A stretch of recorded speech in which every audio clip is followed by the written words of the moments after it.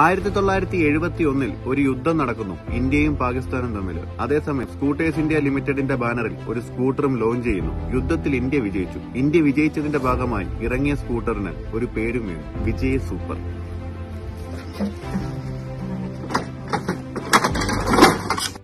നൂറ്റി അമ്പത് സി സിയിൽ ആറ് പോയിന്റ് ഒമ്പത് ബി എച്ച് പി ആണ് ഈ വാഹനത്തിന്റെ എഞ്ചിൻ പവർ. അതുപോലെ തന്നെ രണ്ട് വേരിയന്റ് ആണ് ഈ വാഹനം ഉള്ളത്. Mark one mark two. നമ്മളുടെ വിജയ് സൂപ്പർ മാർക്ക് ടു ആണ്. ആയിരത്തി തൊള്ളായിരത്തി എൺപത് കാലഘട്ടത്തിലാണ് മാർക്ക് ടു വേരിയന്റ് ഇറങ്ങിയിട്ടുള്ളത്. ഏകദേശം ഒരുപാട് വിന്റേജ് സ്കൂട്ടറുകൾ നമ്മളുടെ കേരളത്തിലുണ്ട്. പക്ഷേ വളരെ വളരെ വളരെ റെയർ ആണ് വിജയ് സൂപ്പർ.